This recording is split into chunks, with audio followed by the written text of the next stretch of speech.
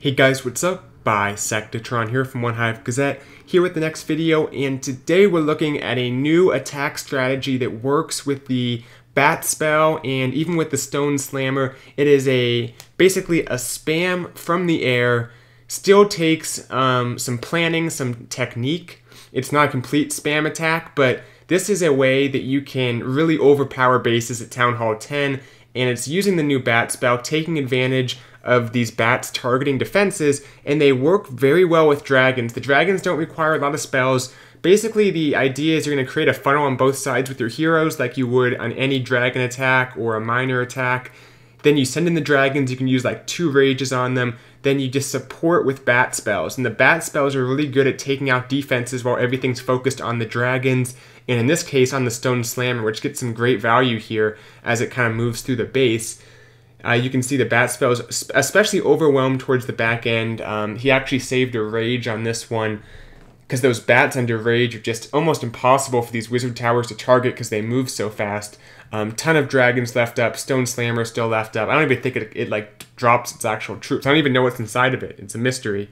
Um, it's um, it's um, incredible to think that you still have troops inside of it, even after it uh, does all the work it does as just a siege machine on its own.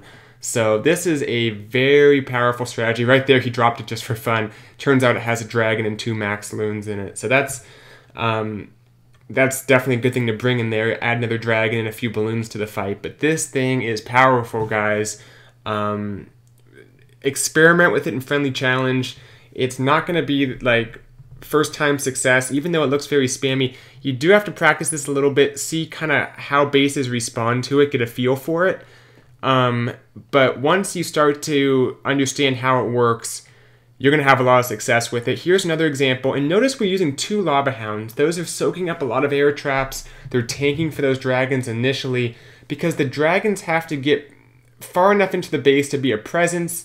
Um, it, that way they can tank for those bat spells. And I know um, I said previously, you know, the Inferno Towers on multi, that's a great counter for bat spells. And it is, but it's not necessarily a great counter for this specific use of bat spells, which is with dragons and a very spam type attack. Now, this was a very creative way of using the Wall Wrecker, going to basically insert it into that very valuable area. There's a lot of air targeting stuff in that area. Gonna allow the queen to just kind of walk around. And guess what? There's balloons and a dragon in it. So that is a great way to create a funnel in what is otherwise a very difficult place for dragons to go. The queen also comes back and helps. Um, and then here's the rage. The two hounds don't take for a long time, but they soak up seeking air mines, and they they definitely take a lot of that heavy DPS out of the way. Now this multi inferno here is just overwhelmed. I mean, with the rage and like eight or six or seven bat spells, I think it, I mean, not even a multi inferno is going to be able to stop that. And you can see the dragons themselves soak up the beams of these multi infernos. And once that starts happening, you're opening it up for the bat spell because the multi is weakened. It has less available beams to target those bats. So in both these attacks, you guys saw how many dragons were left up. Um, crazy, crazy stuff. Now, um, unfortunately, that's all the attacks I have. We're going to kind of switch gears um, I wish I could bring you guys even more of these uh, Bat Spell Dragon attacks. They're very powerful at Town Hall 10. My recommendation is try them out in Friendly Challenge. Just going to spend a few minutes because I want to also highlight One Hive Origins making it to the finals of the league they were in, I believe. Um, I'm not even going to actually guess because it would be, I don't want to get it wrong in the video. I'll put it in the comments section of the video because I can't remember it off the top of my head, but this was the finals. I think it's one of the CWL leagues, and they came very close. This was a tied war. So if you guys are wondering what happens, um, the rules say that they actually have to do a tiebreaker. And considering it was a mostly a low breakdown, the last war was nines and tens. Um, this war had all nines, but only five attacks. So um, Eagle Nest PH went five for five. Unfortunately, uh, one got away from us. And for those of you Town Hall Nines out there, it's a rare, a rare occurrence that you see a Town Hall Nine. Um, but not really. A lot of people still are Town Hall Nines, and it is a little naive to think that everyone's just upgraded to Town Hall 10 and beyond. And I know a lot of people say Town Hall 9 is broken, and maybe it is to some extent, um, but I'm going to actually put out a Town Hall 9 video based on a lot of these attacks I've been seeing, a Town Hall 9 defensive video, which um, is not um, a fairy tale. It actually, you can still try to defend at Town Hall 9. It's not easy. Um, let's take a look at an attack, though. I want to look at this one. Um, go ahead and show just a cool army comp. And it's mostly witches at Town Hall 9, but I want to show one attack that wasn't witches that still crushed a base. And we'll show one of their attacks, uh, the victors of this league, out of respect because um, they definitely deserved it. And I want to give them a little, uh, a little bit of a shout out here um, because oftentimes these lower leagues don't get enough recognition. Um, but a very good job to One Hive Origins. This was something that's not easy to do when you're, I guess, not the main clan in a clan family. A lot of times members are coming and going fast, but they really stuck it out. There's a great core group in One Hive Origins, and um, some of it is second accounts of people in One Hive Genesis or Alpha. Um, but there are some, you know, very committed leadership in that division of our clan family. And this one was looks like healers on the P.E.K.K.A. Just a, a weird attack. The king splits off one way. The idea was basically, I think, to do a P.E.K.K.A. walk into um, like a bowler kill squad. And really, these heavy troops are working at Town Hall 9, not just the witches. Now, the funnel was a little sketchy, but everything goes in for the most part. CC comes out, and uh, poison or two on it will kind of deal with that CC. Um, but yeah, things are just going to push through here. And then, of course, the hogs and two heals doesn't hurt either. This actually, in a weird way, turns into kind of a queen charge with these P.E.K.K.A.s just kind of following behind.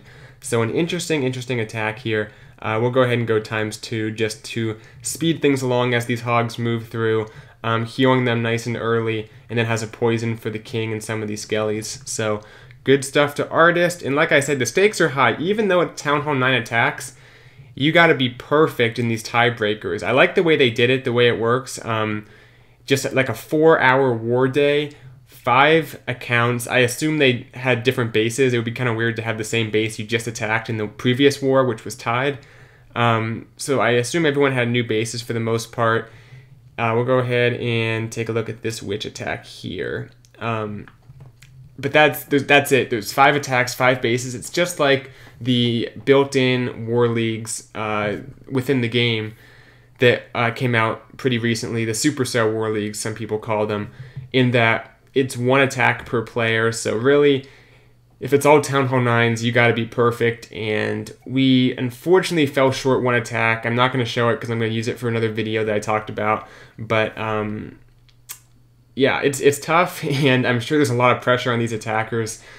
But uh, Town Hall 9 for sure is very much if you don't triple, you're that's kind of a failure. Every base should be fresh tripled for the most part, um, especially when the Town Hall 9s are just the bottom within a war.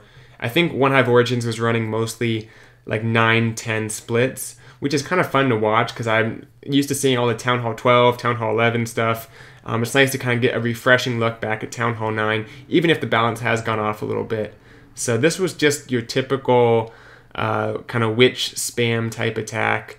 Bowlers coming in, but um, it's it's misleading to say these are spam. Yes, you can just drop like all witches and your heroes and some jump spells, and you can triple a base maybe like half the time. But what really it's about is can you can you continue to triple? It's almost like dipping in a weird way. It's how consistently can you do this? Because anyone can throw a bunch of troops down in three star, you know, most of the time, but can you do that almost every time? We're seeing people hitting like above 90%, even higher at Town Hall 9, and that's kind of the curve that's it's become is can you get those triples um, all the time? And this tiebreaker really exposed that because there weren't any Town Hall 10s. Now, if there's a heavy breakdown with 10s and 11s, the Town Hall 9s, you know, if you fail one or two attacks, the 10s can cover it. Plus, the 9s are scouting anyway. There's tons of extra Town Hall 9 attacks. So, you really only see these intense wars when it's all Town Hall 9s. And I think it would be fun to have, um, for future, have a maybe like a event where it's all Town Hall 9s, like 50 v 50, but everyone gets one attack. And that would be fun to kind of bring back Town Hall 9. Yes, it's easy, but if you put the stakes like that, um, just one or two fails, it that can be the difference. So fun to see some of these attacks. That'll do it for this video, guys. Um, hope you enjoyed the dragon uh, bat attacks, if that's what you were here for at the beginning of the video. And until next time, I'll see you guys later. Look forward to that Town Hall 9 video coming out soon. Bisectatron out.